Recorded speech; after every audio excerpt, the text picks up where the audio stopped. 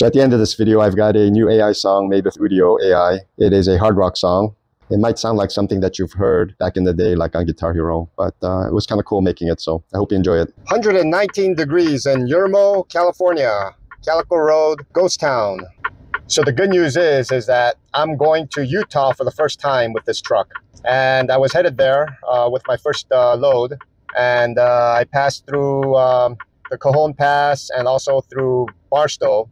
And uh, right as I was approaching Calico, the ghost town, I hear a boom. Yeah, my tire exploded. My uh, tandem tire exploded. I'm pulled over here on the side of the off ramp. It's a safe location. It's a dirt lot here, uh, which extends the, the off ramp here. Uh, but uh, I'm waiting for emergency tire services to show up to uh, replace uh, two tires. One was the outer tire is really bad, the front right outer tire, and then the one inside of that, that's the one that blew. Uh, it was, yeah, it pretty much felt like an explosion back there. It was crazy. It was like boom, and then I, I knew right away. I, I had so I uh, drove for a little bit and then pulled over because I didn't want to pull over on the side of the freeway, and I knew there was an exit coming up. So uh, I went ahead and uh, came off the exit. As soon as I came off the exit, I saw this uh, dirt, small dirt stretch for emergencies. I went ahead and uh, pulled into here, way clear of the cars coming off the off ramp. So I'm waiting here. Hopefully they contact me soon and get me back on the road. So this is where we're at right here. I-15 on ramp right there for the north. So once I get fixed, I'm going to be heading over there. But it's beautiful here, but it is boiling hot. Um, so we got the tires here. Yep, this is it. See the tire? The inner tire right there? So another blown tire uh, situation. You know, I come across it so often, you know. And I think it's this heat. This heat is uh, crazy hot, 120 plus degrees. 119 in my truck right now, so, you know. But uh, yeah, hopefully I get fixed up soon. You gotta admire that view though, huh? It's pretty awesome. Check this place out. It's called Eddie World. I guess this is a place for serious candy people. oh my god, look at this place. This is crazy. Oh, you like Sour Patch? This is a place, huh? It's crazy.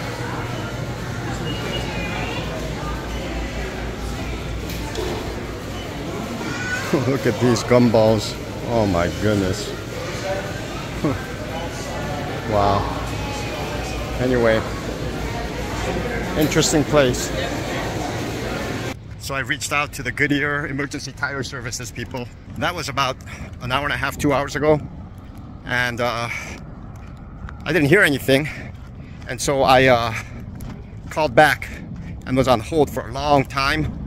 And then uh, they finally got the phone and told me that they didn't even dispatch anybody yet.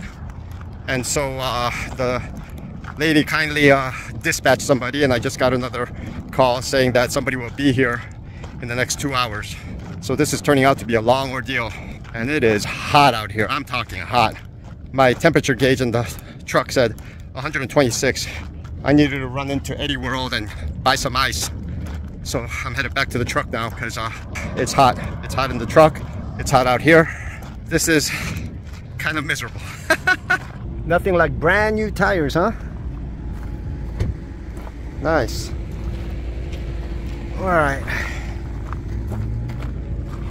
So I stopped here in southern Utah at a rest stop to do my reset, and uh, it's pretty wild here. Let me show you a couple things. The skies look pretty wild. It looks like it's gonna come down. It's 91 degrees here, and it's windy. It's a lot cooler than last night. Last night it was over 108, and I was in the border of Arizona and Utah at that time. Right now I came back down from Salt Lake, and I'm here at the southern part of uh, Utah. This is what the rest stop looks like here. Everything's indoors. The restrooms are indoors. The benches are indoors. It's probably the nicest uh, rest stop I've uh, been to. Restrooms are really clean here. I guess because it snows in the wintertime, um, they uh, keep you safe from the elements. It's called, uh, I don't even know how to pronounce that. Kanarraville, Kanarraville South rest area. Yeah, pretty wild. And you can see the seating areas here and uh, vending machines. Yeah. Pretty crazy. It's a really nice, uh, nice rest stop. Yeah. Sun's going down here. It looks pretty ominous. Hopefully it rains while I sleep. I could get some uh, ambient noises so I could sleep better and um, get a truck wash by nature. Southern Utah, first time here, at least at this rest stop. What's going on, my people? So it was a pretty decent week. It started off uh, a little slow as usual, one load, one load. And then on the third day, um, I had a situation where my load wasn't ready and I was waiting and waiting and waiting. And, uh, you know, I was falling behind because I was, I, I usually like running over 2000 miles. But what ended up happening was that uh, I called in and um, they changed my load from a load from uh, Ontario, California to Phoenix, Arizona to Ontario to Salt Lake City, Utah and back. And they asked me, am I interested in doing it? Can I do it? And I said, absolutely, I'll do it. And that basically salvaged my week. So it's 650 miles one way, 650 miles back. So a total of, for the week, it was about almost 2,200 miles, which isn't great, but it, it wasn't bad. As long as I crack over 2,000 miles, I think I'm kind of in the ballpark of where I need to be, at least at the bare minimum. In the beginning, I liked new routes and uh, seeing new scenery and whatnot, but because I'm so focused in on being efficient, I like avoiding the unknown. I try to avoid the unknown because things take longer and they're unfamiliar and you can make mistakes. So what ended up happening was I had a situation where on one road there was a double roundabout. It was a roundabout, a straightaway, and then another roundabout. I, I made mistakes on both roundabouts. I got off the beaten path, had to make awkward turns into streets, and uh, you know it was just uh, it's just time consuming. So so there is an interesting factor in going to new places because you get to see new scenery, everything's cool. Uh, it's not the same old same old, and that's part of the allures of driving because uh, you get to go all around the U.S. and see new new cool stuff. So that part's cool. But the part that's bad is at the end of the day, we, we're still in it to make money and be efficient. So the inefficiency or the mistakes or the potential mistakes or even like potential incidents or accidents that could happen, those are the things that you want to avoid. And those most commonly happen when you're in the unknown. You know, when you're on, you're in situations where you don't know what to expect. If you're doing routes day in and day out all week long, the same routes, then you kind of know what to expect. It's like driving your neighborhood. You're not like uh, you're more aware, even though you're not aware. you know. Anyway, so they sent me to Utah, which was really cool. I got some cool footage and everything on the GoPro. And um, the ride itself was pretty uneventful, other than that flat tire. It was long stretches, really cool, really, really. If they asked me to go back again, I would do it in a heartbeat because it basically takes a trip to Phoenix and back, and then another trip to Phoenix and back to pretty much do one trip to Salt Lake City and back. So you know, I rather do the long distance than the multiple short distances. But uh, yeah, so on my way back from Utah, as I was getting off my exit exit. It's a two lane exit. So two lanes are going off the off ramp like this. Okay. Um, there's some traffic on the freeway and I'm coming down. I make my lane change to the right and I'm going. And this small four wheel vehicle, small car, I think it was a Honda Civic or something, Honda Accord maybe, was on the way right lane, which is a you must exit, exit only lane. Okay. So I'm coming up on this car pretty, you know, pretty quickly. I'm, I'm, I'm not speeding or anything, but this guy's going slow. And all of a sudden, this car decides to slam on the brakes. And my, you know, I've got a truck with a trailer, and so I have to slam on the brakes, and I'm not going to stop on the dime. And this car, go figure, I recorded this whole video and my audio cut out. So I'll have to re record this next portion. Anyway, um, there's a point in the off ramp where you're completely committed and you're going. And the second lane is not no longer in touch with the freeway traffic or the lane that's continuing on that freeway. And so what ended up happening was that this person decided at the last minute that they were going to slam down the brakes, stopped completely, completely stopped, didn't even move over one lane and then another lane, just completely stopped, wasn't aware, I guess, that I was behind them. I had to slam on my brakes. And when I slammed on my brakes, I was approaching the car really fast. So I had to swerve a little bit to the right to avoid them. You know, usually you you feel like you have enough time to react but because i'm in a semi truck that moment was very fast but in slow motion if you understand what i'm saying. But it was like i moved to the right and um, there's a lot of features in the freightliner cascadia. I had two horn sounds without me even touching the horn. It just went off on its own. And it also like i think um, i think the abs and everything was trying to control the situation. If i didn't turn to the right i would have hit that person. So i had to go partly into the shoulder. That person, after I stopped, then they moved over one lane and then they went into the next lane. That person basically almost caused this accident just because they were not paying attention to what's behind them and they were not paying attention to um, the road ahead of, and making plans ahead of time. Luckily, I had enough distance to make the stop, you know, because small cars will stop on a dime like that. You know, when somebody stops on a dime, you're trying to stop a moving uh, truck, and it's it's anyway another thing that happened that I spoke about earlier in the week was the flat tire. You know, in the previous video, I mentioned how things annoyed me. And one of them was having a flat tire and go figure, right? I mean, it is, it is what it is. It's just part of the job. You know, you, even though it's annoying, you deal with it, you try to be safe and, uh, you know, make, make the most of every day these are situations that will occur. There, you know, all of a sudden, like for a stretch of time, you're not, it's not like you're not going to encounter bad drivers. You're going to encounter bad drivers all the time. It's how you deal with it. And it's also how the circumstances involving that situation, you know, pan out. And um, thank God, you know, by the grace of God that I'm, you know, I didn't hit anything or anybody and, and I didn't get into an accident or a situation where somebody got hurt. So I'm thankful for that. Um, now, which leads me to talk about um, burning out. And this applies to whatever job you're in. I think everybody's mental capacity can handle a certain amount of um, excitement, interest, energy. Uh, but how do you keep that energy level high? You know, how do you keep that energy level high? And um, there's a lot of like uh, I talked about in past videos about disappointment, complaining. You know, uh, it's it's almost like sometimes we start complaining, and uh, we have a legitimate reason to complain. And I think it's okay to you know, vent and let out your frustration, you know, but when complaining becomes a pattern of your conversations or your pattern of your interactions with other people. So when you start talking, you know, your frustration is just deep seated and it, it, won't go away. It just sits there. So I know people that would do things and complain about what's going on in their situation because all this BS hits you. You know, in any job, especially in trucking, a lot of BS hits you. Sometimes it snowballs, a domino effect, one after the other after the other. You know, no human being is going to be able to just contain it and smile and be happy and go, yeah, it's great. Everything's great. No, you, you have a lot of frustration uh, built up, a lot of things going against you, and you have to overcome that. You let it out, you release it, you know, you approach it the right way, you fight against it.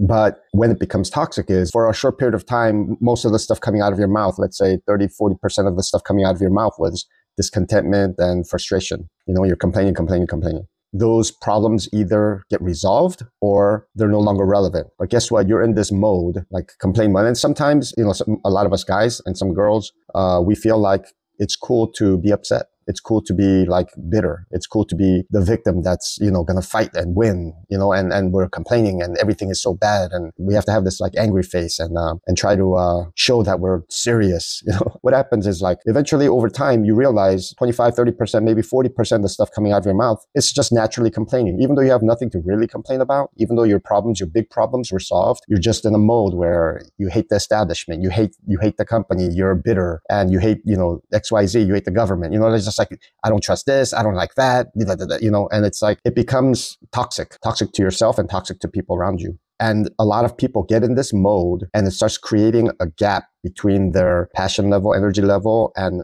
the company. And so you no longer want to put in your best efforts. You know, you, you are saying, what for? You know, and then you end up doing the bare minimum or you you end up leaving or you you know you're looking for something else. You have one foot out the door the whole time. It's not fair to yourself it's not fair to the company you know whichever company if the company is not right for you you need to go. Um, is it a legitimate reason and is it the right time for you to go? And don't shortchange yourself you know? You have to look inside and say why am I discontent? You know, or am I just hearing the voice in my head, complain, complain, complain, complain? And now I'm in this mode. This is a part of my daily personality, daily routine that I'm going to just, you know, garbage is just going to keep coming out of my mouth. Another reason why outside of the complaining that sometimes you lose that motivation, uh, is people get bored. You know, uh, the the new shiny thing, the exciting thing, no longer is that shiny or exciting. You know, even though you have a good gig, you realize that oh yeah, same old, same old. You know, I'm doing the I'm in the routine, I'm in the grind, and then you start losing steam. You know, you, your mind starts wandering about what else you could be doing, what other people are doing. The grass is greener on the other side, and then you realize that yeah, my job's okay. You know, it's not that exciting. Let me tell you, it's as good as you're gonna make it because all jobs will have BS problems and whatnot, but you need to make the most of it while you're there. Why why waste your time in a crummy job? Don't don't don't waste your time in a crummy job. But is that job crummy because of your crummy attitude? You know what I mean? And a lot of times that's that's the case because we just got bored. We got bored and we we just lost the energy. You know, I think a lot of us, you know, it's me me especially. Uh, I fall into this category where I like moving on to like new things, new things, new things all the time. There is uh, a great weight in having discipline, prolonged discipline. You know, And I'm not saying you need to suffer and be a slave to your work and stuff like that. No, tackle each day you know. There are things that are constant that are a huge blessing you know and don't take those things for granted. You know like people in your life your relationships these people are constant. Most of the time you're with your family until you know until they die or you die, you know, in this earth. And so those those things are constant. In America, we love to job hop, and which is which is fine, but there is a beauty in consistency at staying at a place and being a prolonged blessing. Because the longer you're there, the more you know and the more of benefit you are to the company. In the beginning, the company is investing in you so that you can get to a level where you're of value to the company.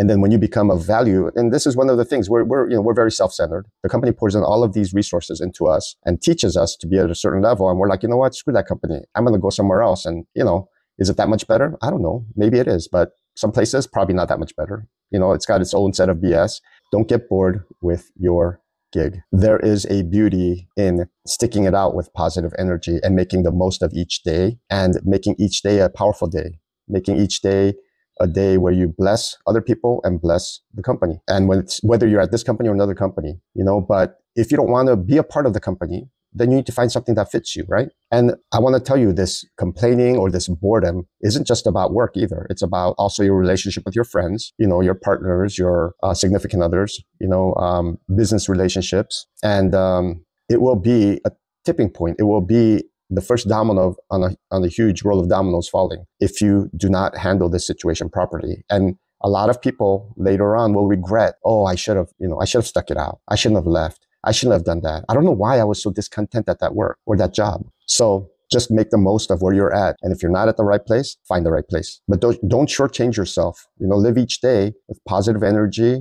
and use your strength and energy to uh, be effective and in turn get rewarded and prosper, you know? So this is probably a stepping stone to something bigger for you, you know, eventually, you know? Um, and so I hope whatever stage of life you're in that you work hard and you end up blessing yourself through your hard work, you know? And obviously, God's going to bless you, but you end up blessing yourself. And don't hold your blessings back because of boredom, laziness, or complaining, you know, or, or looking at the grass being greener on the other side, you know. So I hope this helps you guys out this week. As always, uh, God bless you and peace. I will catch you next time. Cheers.